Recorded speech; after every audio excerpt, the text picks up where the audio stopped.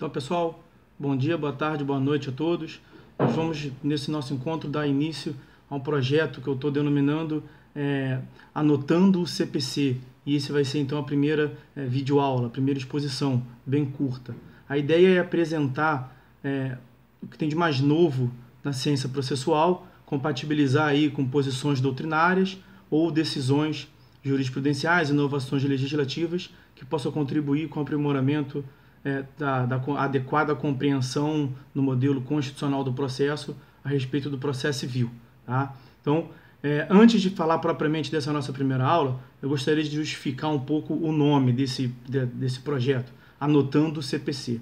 A ideia é que os senhores possam mesmo fazer no Código de Processo Civil dos senhores as anotações nos artigos correspondentes para facilitar o estudo dirigido aí para um concurso público ou por alguma atuação prática, os senhores têm que defender eventuais recursos, formular é, algumas petições. Então, essa é a ideia. E foi, inclusive, é, a ideia norte que originou o nome da minha coleção, Anotações de Processo Civil, composta por seis volumes. E o link para acessar o material vai estar disponível é, aí nessa postagem. Então, é, nessa nossa primeira exposição do Anotando o CPC número 1, a ideia é trabalhar a respeito de um acórdão que foi divulgado por meio do informativo número 585 do STJ. E aí, o que é que trata esse acórdão? Bom, esse, esse acórdão trata de uma hipótese, de uma exceção de uma exceção. O que, que é isso? Nós veremos que, é, em regra, o processo civil por é, execução por quantia certa, ele vai se desenvolver ali por expropriações. Tá? Então, é, incide nessa ideia de expropriações de bens do executado para satisfazer o interesse do credor, a regra lá do artigo 789 do Código de Processo Civil, que disciplina a responsabilidade patrimonial. Eu vou pedir vênia para os senhores para que eu faça uma breve leitura desse dispositivo. Diz o artigo 789 o seguinte: o devedor responde com todos os seus bens, presentes e futuros, para o cumprimento de suas obrigações salvo as restrições estabelecidas em lei. Então, dessa regra da responsabilidade patrimonial deriva uma exceção já prevista em lei, que são as hipóteses de impenhorabilidade.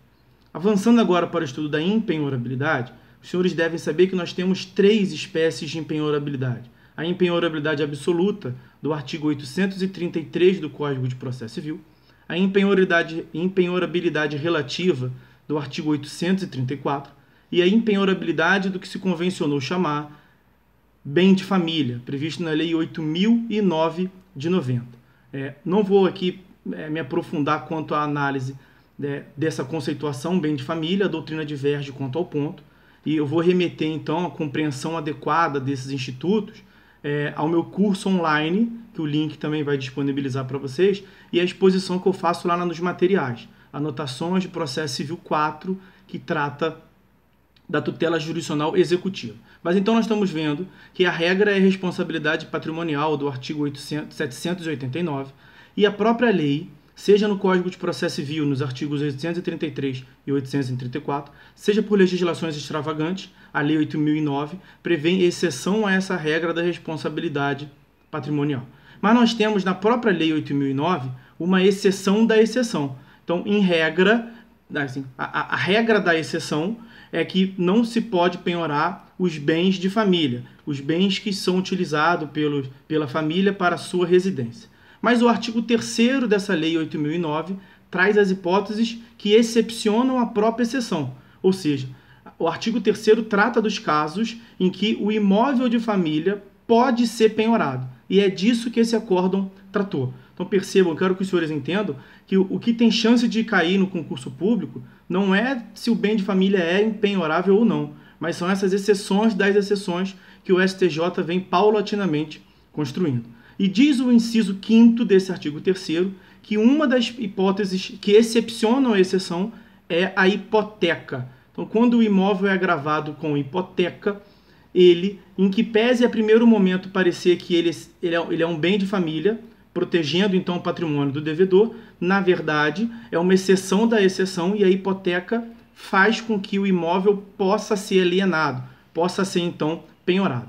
Por meio do recurso especial 11 152 65 do Rio Grande do Sul, o STJ já havia em informativo anterior previsto uma exceção. Para que esse inciso 5 pudesse ter então plena aplicabilidade, é necessário que a hipoteca seja constituída por uma dívida para a família e não para um dos seus integrantes. Então, essa é uma compreensão importantíssima. E nesse informativo 585 do STJ, por meio do recurso especial 1455 554 do Rio Grande do Norte, o STJ formulou uma outra hipótese, uma outra regra que incide nesse inciso 5 qual seja, se discutia nesse acórdão se havia necessidade ou não da hipoteca estar registrada no RGI do imóvel. E o STJ disse então que não. O artigo 1227 do Código Civil diz que para que o direito real tenha eficácia plena, ele precisa ser registrado na matrícula do bem. Então, em tese, poderia fazer compreender que é necessário sim o registro o registro da hipoteca no, na matrícula do imóvel. Mas o que o STJ disse é que esse 1227 trataria do que se chama de eficácia erga omnes. Para que tenha eficácia perante toda a sociedade, é necessário o registro na matrícula do bem. Mas o STJ afirmou que tão só pela constituição da hipoteca, ou seja, para que se incida a exceção da exceção do inciso 5 do artigo 3 da Lei 8009, que disciplina o bem de família, basta que tenha uma eficácia interpartes. E aí o STJ informou que é, a plena constituição da hipoteca, a, a existência da dívida gravada com a hipoteca, já seria o suficiente para produzir efeitos entre as partes. Então é muito provável que venha se perguntar nos concursos públicos se há necessidade de registro da hipoteca para que se excepcione a proteção do bem de família. E a resposta deve ser então que não. Tá bom? Esse foi então o nosso primeiro anotando o Código de Processo Civil. E eu espero que quem tenha gostado da exposição, se, se, se for o suficiente para despertar alguma dúvida e um estímulo para um conhecimento maior do processo civil, que procure no link que vai estar disponível no post o meu curso de processo civil e especificamente aqui quanto à tutela jurisdicional executiva, anotações de processo civil número 4. Bom, um abraço, até a próxima.